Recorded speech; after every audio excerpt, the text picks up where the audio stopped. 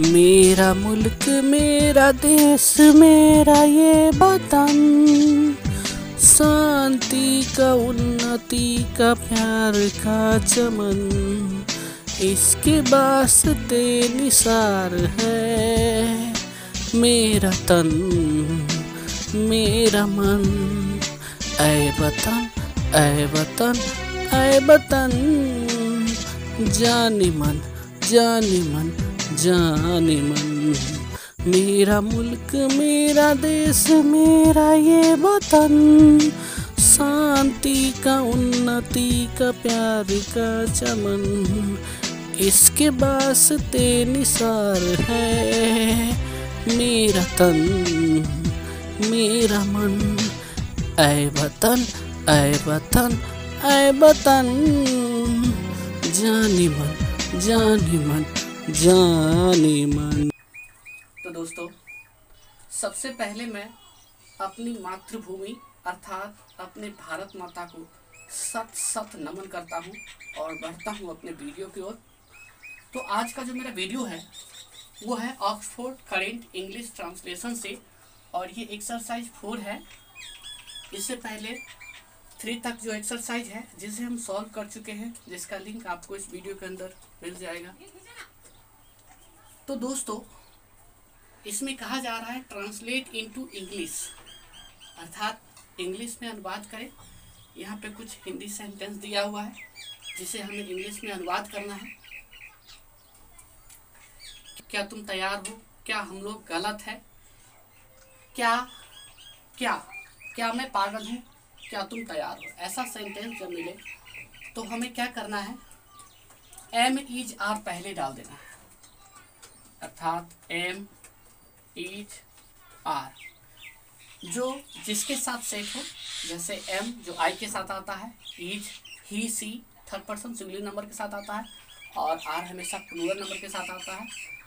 तो ऐसा डाल देना है, और इसके बाद डालना है सब्जेक्ट सब्जेक्ट जैसे आई वी यू सी और इसके बाद डालना है ऑब्जेक्ट तो इस तरह से ये बैठाना है और इससे ये सारा सॉल्व हो जाएगा। पहला है, मैं पागल हूँ। क्या लिखा हुआ है? क्या मैं पागल हूँ? तो क्या मैं पागल हूँ?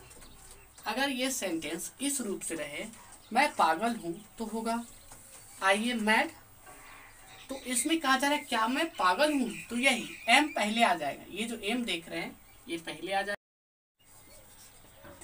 Am I mad. क्या तुम तैयार हो?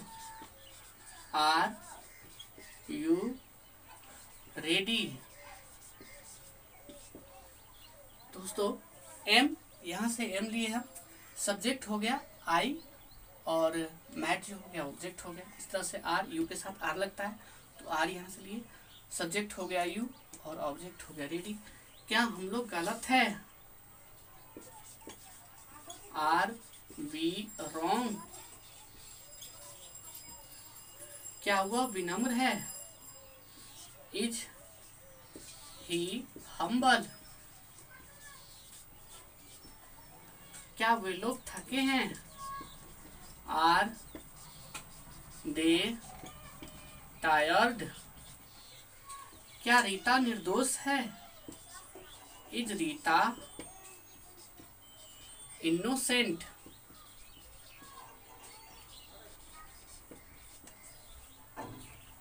क्या आपका भाई तेज है? इज़ योर ब्रदर इंटेलिजेंट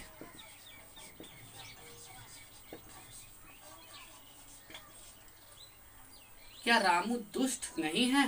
देखिए दोस्तों, यहाँ पे नॉट का यूज़ होगा, जो नहीं है। तो नॉट हमें लगाना है, सब्जेक्ट के बाद नॉट लगा देना है। क्या रामू दुष्ट नहीं है? इज़ रामू। ये सब्जेक्ट हो गया, इसके बाद नॉट लगाइए। नॉट विक्ट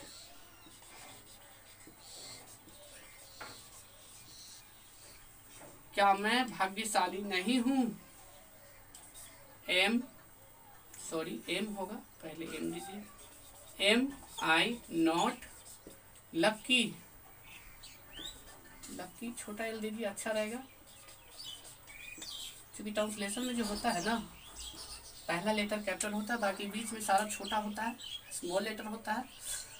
और कहीं कहीं पे कैपिटल लेटर यूज़ करते हैं, जैसे नाम हो गया, ऐसा खास नाम जो एक हो, दुनिया में एक हो, ऐसे नाम की जगह कैपिटल लेटर लगाते हैं। क्या हुआ? बेईमान नहीं है। इज़ ही नॉट डिसऑनेस्ट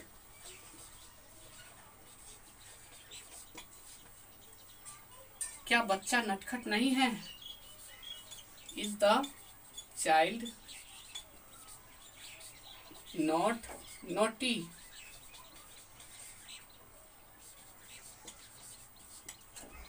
क्या बच्चे नटखट नहीं हैं?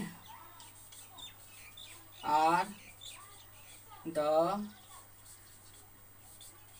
children not naughty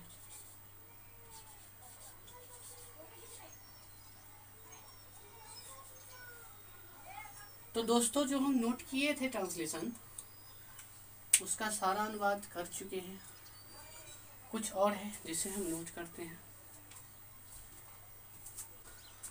तो दोस्तों आगे जो बचा था सेंटेंस उसे हम नोट कर चुके हैं। इसमें दो और रह गया है, जिसे हम बाद में नोट करेंगे। इसमें कहा जा रहा है, क्या आपकी पत्नी शर्मिली नहीं है? कैसे बनाएँगे? Is your wife not shy शर्मिली को इंग्लिश में साई बोलते हैं वास्फुल भी बोलते हैं, आप कोई भी लिख सकते हैं। क्या तुम बेईमान नहीं हो? Are you not dishonest?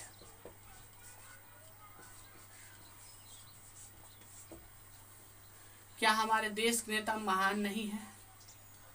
Are the leaders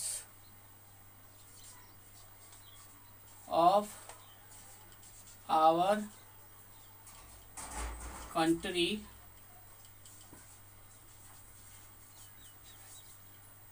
not great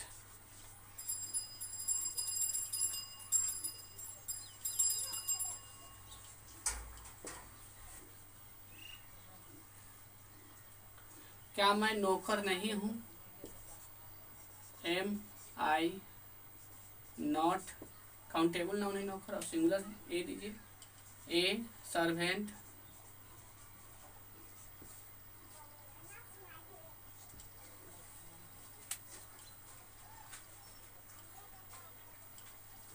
क्या मैं छात्र नहीं हूँ? Am I not a student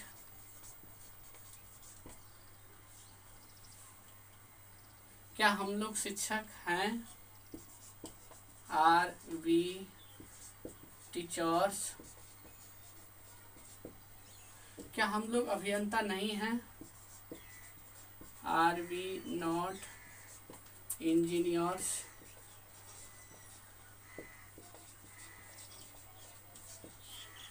क्या तुम डाकिया हो? Are you a postman? Singular है। पोस्टमैन काउंटेबल नाउन है, ये लगेगा। क्या तुम एक किरानी नहीं हो? Are you not a clerk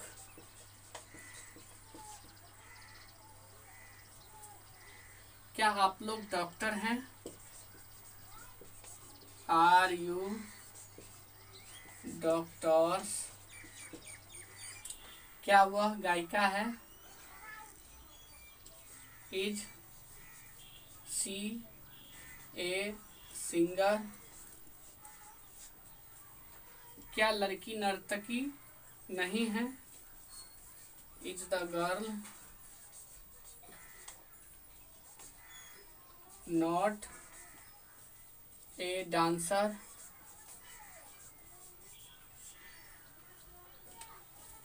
क्या लड़कियाँ नर्तकियाँ नहीं हैं? Are the girls not dancers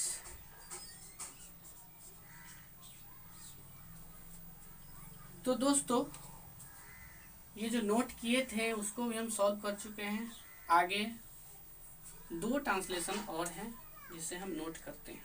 तो दोस्तों दोस्तों, आगे जो बचा था दो, उसे हम नोट कर चुके हैं और उसे भी हम सॉल्व करें। क्या वे लोग चोर हैं? वे लोग यानी अधिक मात्रा में प्लूरल है। तो चोर को इंग्लिश में थिप बोलते हैं थिप और ये प्लूरल है, इसलिए थिप्स लिखेंगे थिप्स क्या वे लोग चोर हैं? आर दे क्या वे लोग डाकू नहीं हैं? आर नॉट रॉबर्स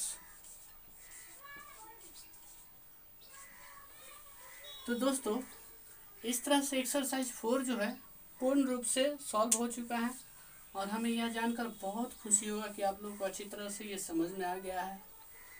तो दोस्तों, ये वीडियो कैसा लगा आप लोग को आज का?